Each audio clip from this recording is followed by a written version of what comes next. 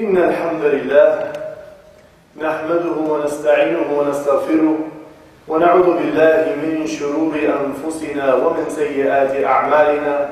من يهده الله فلا مضل له ومن يضلل فلا هادي له. ونشهد أن لا إله إلا الله وحده لا شريك له. ونشهد أن محمدا عبد الله ورسوله صلى الله عليه وعلى آله وصحبه وسلم تسليما كثيرا. بلغ الرسالة وأدى الأمانة ونصح الأمة وجاهد في الله حق المجاهدة حتى أتاه اليقين. فنصلي عليه في الأولين وفي الآخرين وفي الملأ الأعلى يا رب العالمين. أوصيكم ونفسي بتقوى الله عز وجل كما جاء في محكم التنزيل.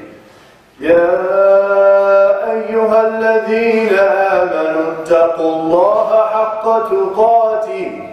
ولا تموتن إلا وأنتم مسلمون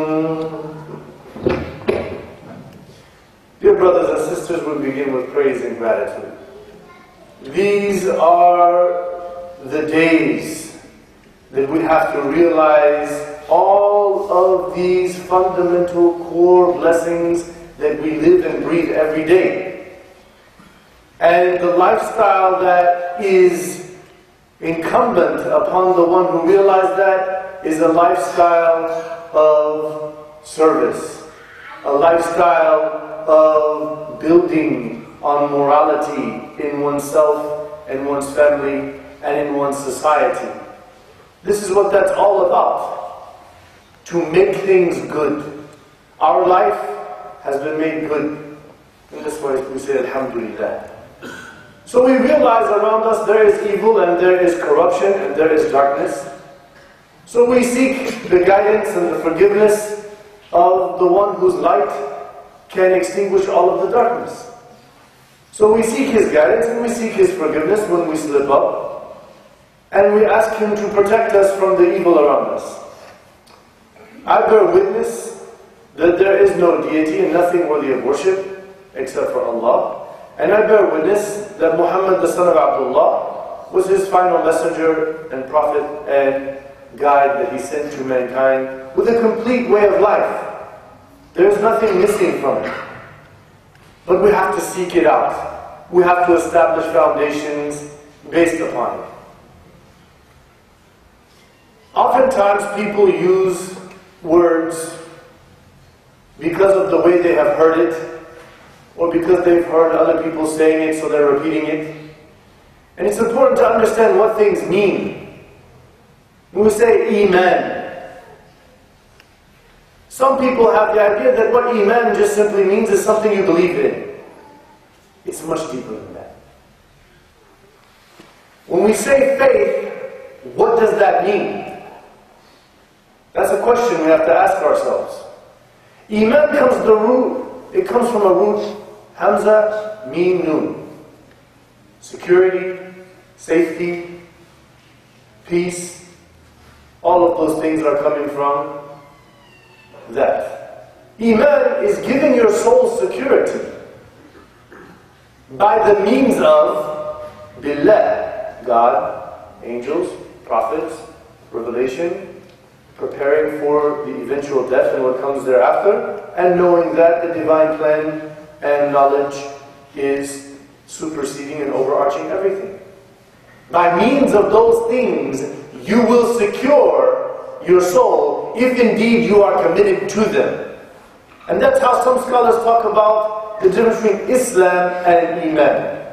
Islam, to openly say, I'm a Muslim, I believe in God, He's one, He sent the Quran to Prophet Muhammad, He's the final prophet, and so I will pray when the time comes because I know I should be praying. I will give some zakat, I will go along with the community fasting Ramadan because I'm Muslim. Iman is a level in which you become dedicated to those truths that are the essence of guidance and purpose and meaning. Also from the root is Amana. Amana, it means to be trustworthy, to be responsible. So the Prophet ﷺ said, La imana liman la amanata. There is no real safety and security in true faith for the one who is not trustworthy and responsible. You're not a real believer if you don't feel responsible. For what? What am I responsible for? First and foremost, you are responsible for the soul that gives you your life, that you are conscious of, and the body that that soul was put in, and the interaction between the mind and the heart and the soul. You are responsible for that. You've been blessed with amazing miracles like sight. You are responsible for what you choose to spend your time looking at. You are responsible. And when we say responsible, your soul's eternal value and worth is hanging in the balance. Your ears, it is a miraculous thing how we are deciphering and understanding complex communication and sounds. You are responsible for what you spend time using those ears for. Your tongue. You are responsible for what you say and how you say it and how that affects the world around you. The Muslim feels responsible. It's not just that. We feel responsible for the room we live in, the clothes we've been given, do I keep them clean? Do I take care of them? Or do I just throw them down on the ground and don't care? My home, do I take care of it? Do I respect it? My parents in that home, do I feel responsible towards them? I've been given a gift of people who were always there for me. When I was crying and whining and my diaper was dirty and I didn't have anything to eat and was stomach was growling, these people were always there taking care of me. Do I feel responsible for that? That's what faith is all about. That's what it means. I live in the neighborhood. I have people living on either side, in the front and the back of me. Responsible for them and their well being and how they're affected by me as the one that lives next to them. This is what it means to believe. This is what faith is all about. I go to school. I'm given an opportunity to learn, to grow. Do I feel responsible about using my intellectual acumen and my time to excel to the best of my capacity? Or do I not feel responsible and be lazy and put it off and don't care and waste my time on things that would really not benefit me in the long scheme of things in this life and eternity? I have a job, a business. I have to take care of that and those that work there as my colleagues, as my boss, as my employees, do you feel responsible for this? That's the question you should ask yourself. So when the Prophet said, La imana lima la amanata la, that carries deep, profound, comprehensive daily life meaning. There is no faith for one that does not feel responsible. We have this hall that they have agreed right now, the people who own this place we're sitting in, they have agreed that they will sell it. Closing date January 22nd. We have a building being built right now. MashaAllah. All of the shell and now some of the filling is there. Just how responsible do you feel for that. So let's take a look at what that really means to us in the hadith of the Prophet sallallahu alayhi wa الإيمان بضع وسبعون شعبة Faith is like 70 something parts, meaning a whole lot. It is comprised of a lot of things. أفضلها أعلاها is La ilaha illallah. The best and the highest of faith is to understand and promote the absolute truth of existence, which is there is no deity and nothing should be worshipped other than God alone, creator of the universe, the one and only. To know and understand that as a primary reality of who I am is the best of faith. So وأدناها إماطة الأذى من الطريق أو عن الطريق. And the lowest level of faith is to remove some harmful thing from the pathway where people are driving or riding or walking or whatever. Do I feel that responsibility, even the small thing? والحياء شعبة من الإيمان and a certain level of shyness and faith and character, a level of shame, a concern for my character and how I affect people, how God is looking at me, how I fit into my claim that the Prophet is my blessed guide and leader. So if you look, he's saying that faith is about how responsible you feel for who you are and what you do. And one hadith he said, أفضل الإيمان الصبر والسماحة.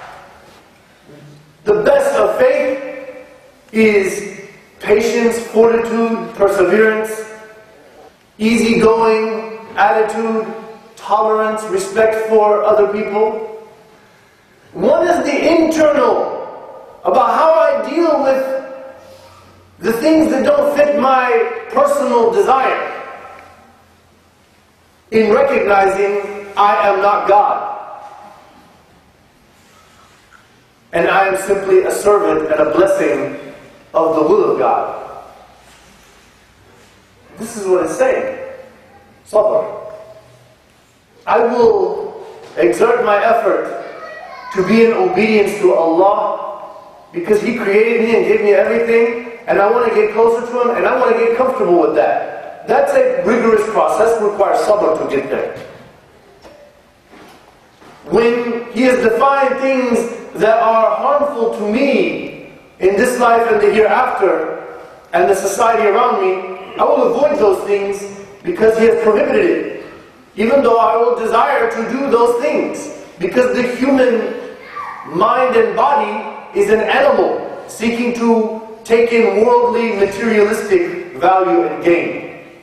And when things don't happen according to my plan, I will realize it is not my plan, and the one plan that counts is that when I die, the planner is with me and I am with him. This is what it means. So I'll tell you a little bit about my own story and how I was blessed to get here. I walked into a mosque in Tulsa, Oklahoma in 1999. And I didn't know what to do or what was going on, but I had been reading a translation of the Quran for over a year. And I knew I was a Muslim. So, this beautiful man, the Mu'adhin, Sheikh Ibrahim Kiyal, Allah yahfadhu, with umrahu fil he welcomed me. He embraced me. He took me, he called me, he said, You will be like my son. Very sweet man. And then he showed me they have an English library in the mosque. MashaAllah. Maybe like 200 books to choose from and look at and read. And after every salah, somebody would always read a hadith or, mashallah, one of, they didn't have an official imam at that point. But somebody would make some reflection on the ayat or something like this. And some people were trying to shield me from some of the other people, and so they would take me in and welcome me to their house and things like this, and you know, try to help me grow. Without that mosque, and the way people were trying to help me, I would not be standing here today. I'm certain of that after studying many cases of people who came and left this religion.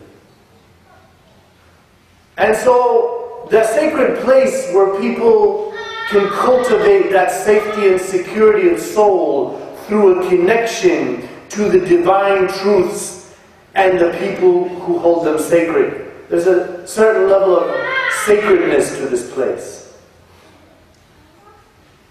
When I went studying, I started at Islamic American University in Michigan in 2002, a few years later after that.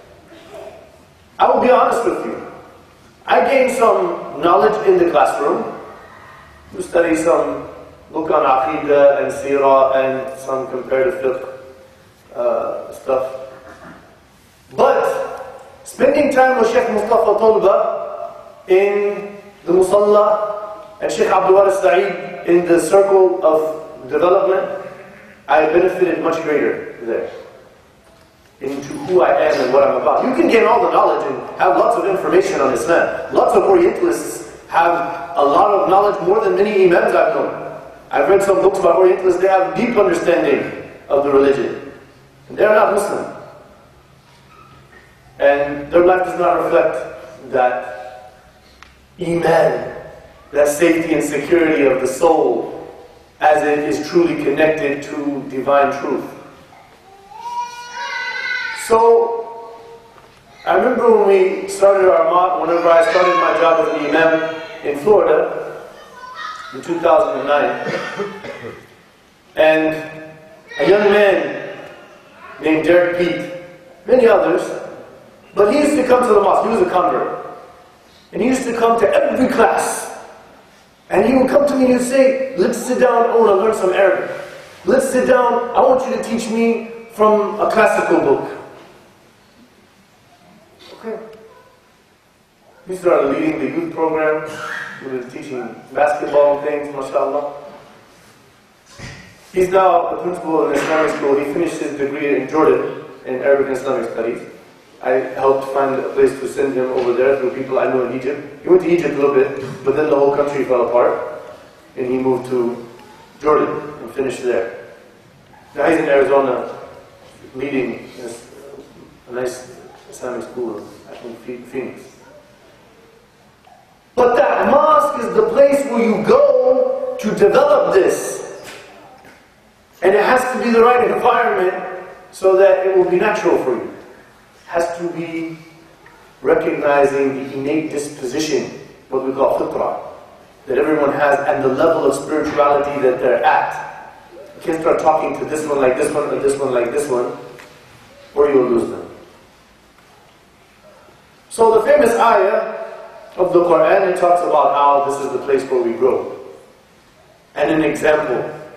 إن أول بيت وضع للناس للذي ببكة مبارك مباركا وهدى للعالمين says, indeed, the first house of worship that was standardized for people to come together is that in Mecca, before it was known as Mecca. And it was a blessed place, Mubarak. And it was a place of guidance. That's what the mosque is supposed to be. Linnas. For the people, all of them. Not one ethnicity, not one culture. For all the people seeking spiritual growth and development. Not for only the real religious guys who have all these rules in their mind that they're trying to follow. But for everyone, one doesn't know too much, one's not even Muslim, what are those guys about? Everybody's welcome there. They feel comfort. And the Prophet ﷺ was like this. So then it says, فِيهِ آيَاتٌ بَيِّنَاتٌ In it are clear signs. مقام إبراهيم ومن دخله كان آمنا The place of Abraham. Let's take a look. Why was that place made an example? It was founded by a man and his son. It's a family place. It was founded by someone who directly connected between the rational and the scientific and the spiritual and sacred.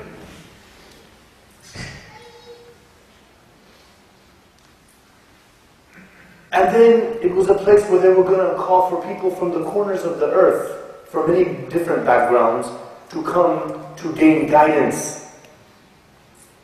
That mosque was meant to be the center of our lives. Why do we know that? Because it's a qibla.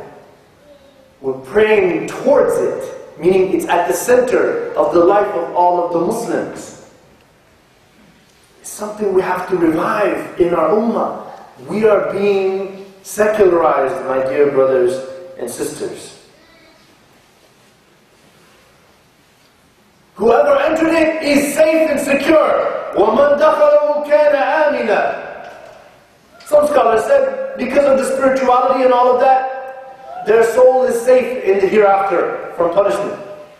But many scholars, most of them, they said no, because it's a sacred place that represents spiritual virtue, at the top of which for human beings is إِنَّ اللَّهَ يَأْمُرُ بِالْعَدْلِ Justice.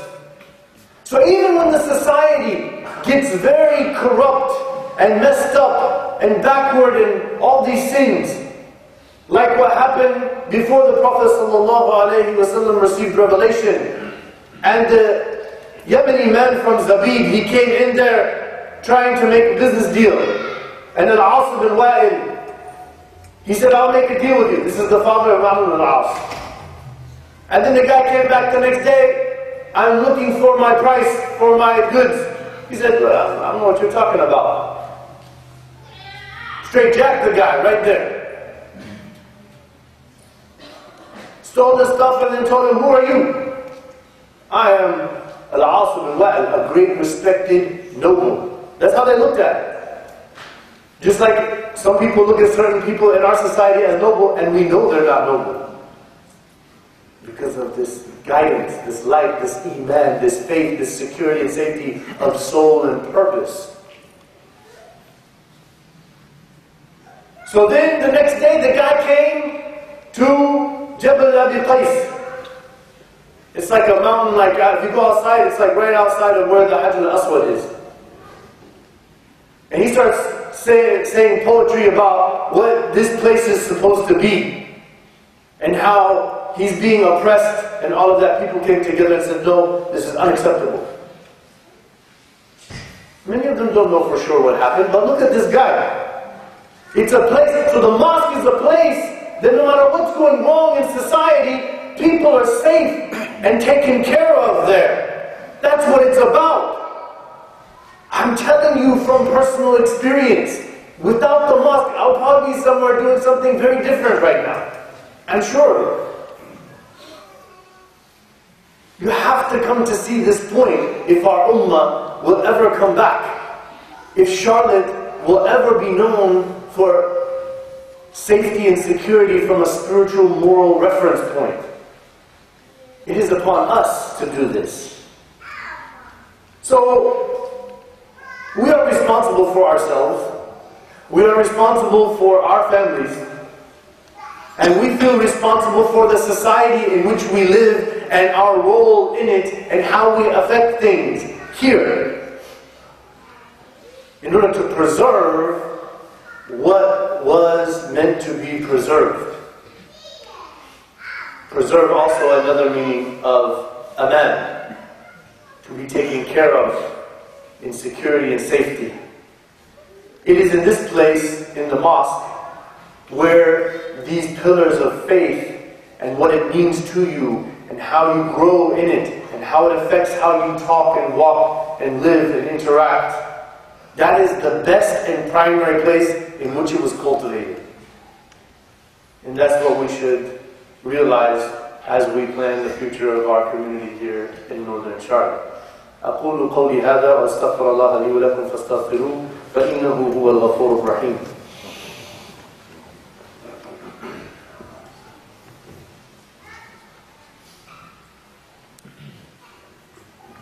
بسم الله والحمد لله والصلاة والسلام على رسول الله وعلى آله وصحبه أجمعين In Arabic, there's uslub al-hasr, or al-hasr according to some scholars. There's a way to talk about things in what we call in English merely, solely, for the specific purpose or reason. And that is innama. Say innama, something, something. Something is in this way. That's what it is. That's the best definition for it. إنما المؤمنون الذين آمنوا بالله ورسوله ثم لم يرتابوا وجاهدوا بأموالهم وأنفسهم في سبيل الله أولئك هم الصادقون Those who have faith, safety and security in their soul's eternal well-being, those are known by specific descriptions. They have put their faith and trust in Allah and His Messenger, and they do not doubt. They do not doubt about the truth that has been proven through miraculous history and revelation. They do not doubt about their role in it and what could be done if indeed they embraced it. Muslims nowadays are pessimists. Let's all be honest with ourselves. We're always looking for how it's not going to work out, how the, there's a big problem, how there's a big conspiracy theory, and you know, Allah, we just can't do it. It's the odds are against us, we're never going to get out of this thing. Allahu Akbar min hadha God is greater than that. Anything and everything is possible with true Iman. Safety, security in a connection with the divine truth that has the overarching maintaining control and effective uh, functional systemic engineering of everything. If we know this, it will all come true. What we know was said to become true by previous generations. So that is who a believer is. And then what do they do once they put their certainty and faith in Allah and His Messenger? Then they're ready to struggle and strive. وَجَاهَدُوا بِأَمْوَالِهِمْ وَأَنفُسِهِمْ فِي سَبِيلِ اللَّهِ They are ready to put themselves in a discomfort, in a situation of hardship, because they know that this is pleasing and this is making way on the straight path in the divine contentment of their Creator. So they're going to put their time, spending time in the place and in the cause and in the defense of what is sacred. And they're going to spend their wealth and sacrifice their wealth for that. And when you look at the Prophet Prophet's companions, you see it plain as day. That was the secret to their success, in that what this verse says about them, they lived it to a T. So I ask Allah subhanahu wa ta'ala, O beloved guide, merciful, compassionate, redeemer, benevolent source of all truth and goodness, we ask you to inspire us and motivate us to be responsible.